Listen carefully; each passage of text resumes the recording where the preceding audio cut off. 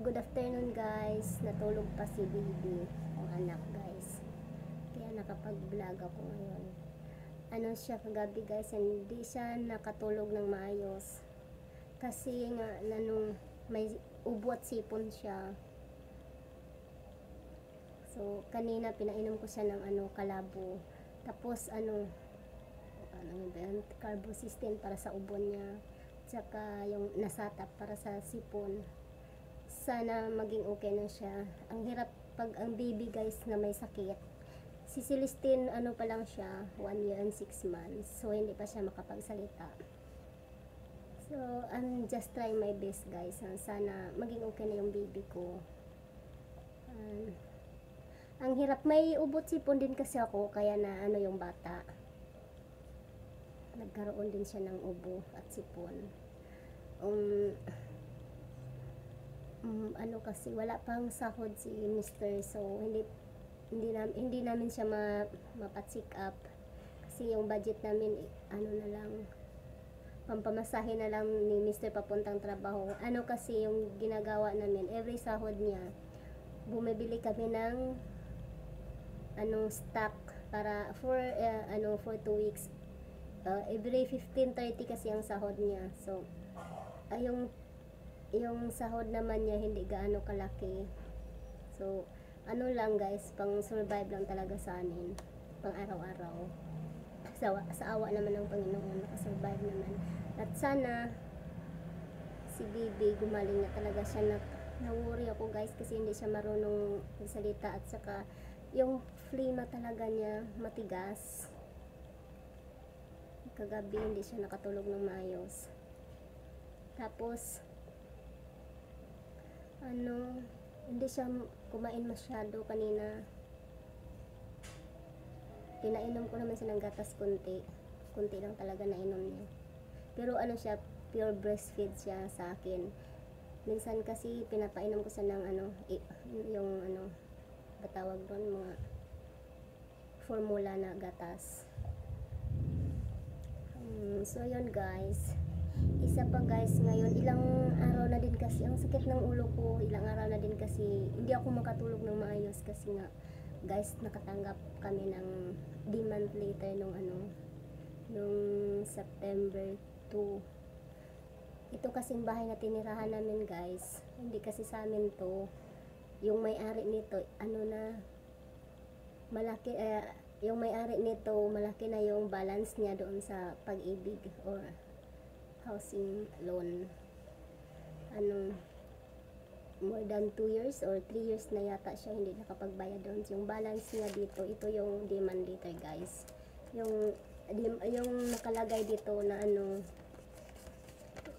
yung nakalagay dito na balance ng may-ari nitong bahay is 200 238,765.48 pesos eh ngayon yung may-ari wala siyang ano, wala siyang trabaho. Sinubukan niyang mag-apply ng mag-apply para abroad kaso na pending siya sa ano niya. May napending siya sa medical niya kaya hindi siya nakapag hindi siya nakaalis agad, hindi siya maka-apply. Sa ngayon nagpapagaling pa daw siya doon sa probinsya nila. Tapos ano kasi din guys, one year na yung binigay ng ano pag-ibig sa kanya na chance na kahit ano lang sana kahit half lang sana ang babayaran niya basta update mag ano updated lang talaga yung payment niya doon. Kaso wala eh kahit 100,000 sa naidaon doon. Um, tapos guys ang problema ay yung nakalagay dito hanggang ano na lang one month na lang. So nitong katapusan ng September sabi ng ano ng agent na pumunta dito ano daw mag ready ready na daw kami kasi foreclose na tong bahay na to. Kapag hindi makabayad yung may-ari nito sa katapusan aalis na talaga daw kami dito kasi ibibenta na ibibenta na naman to ng tagapag-ibig sa ano sa iba sa ibang mga buyer ipa-foreclose na talaga daw ito kasi wala na daw chance na binigay sa may-ari nito kasi nga malaki ang balance niya doon. So guys, ang problema namin ngayon, hindi namin alam kung saan kami lilipat. Hindi namin alam kung saan kami lilipat. May bahay yung ano namin, dito yung biyanan ko.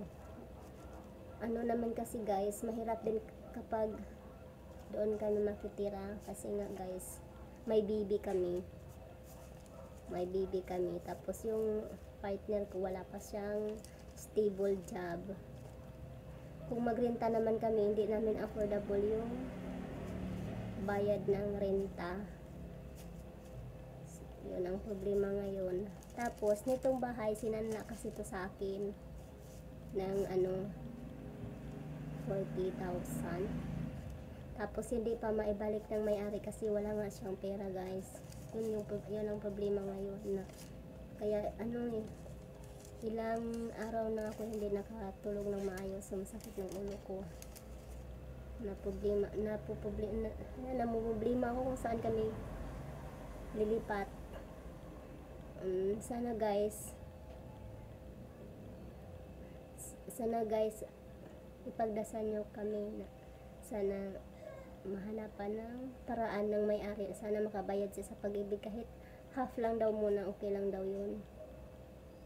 And, sana makahanap din kami ng malipatan namin kung sakaling aalis man kami dito sa bahay na to. Ali, ali, ali, ali, ali, ali. Dali, dali, dali, dali, dali ba? Dali, come, come. Nag, gumi- nagising na si Bibi. Ano yung Bibi ko, guys? Oo, may sakit siya. Ay, si Christine, na ka, Bibi? Bibi ko, may ubo sipon. Okay na ka? Okay na ang baby.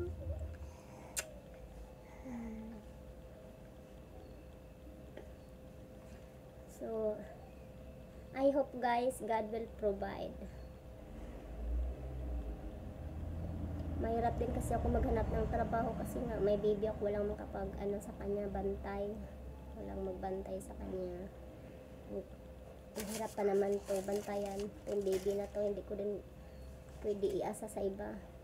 Natatakot ako kasi ang likot-likot pa niya. Kung ano-ano ang oo. Uy, uy, shh, shh, shh, shh. Hello. May papel. Mm-mm. So guys, dito lang muna. Sana ipag-pray nyo kami na makasurvive kami sa hirap ng buhay o sa sitwasyon namin ngayon. Bye-bye! Bye-bye! Bye-bye! Bye-bye, guys. See you next time.